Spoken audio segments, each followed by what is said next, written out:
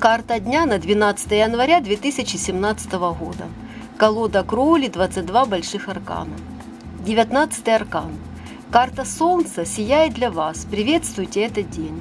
Солнце осветит все сферы вашей жизни, работу, дом, отношения. У вас есть энергия и уверенность в себе, чтобы воплотить мечты в реальность.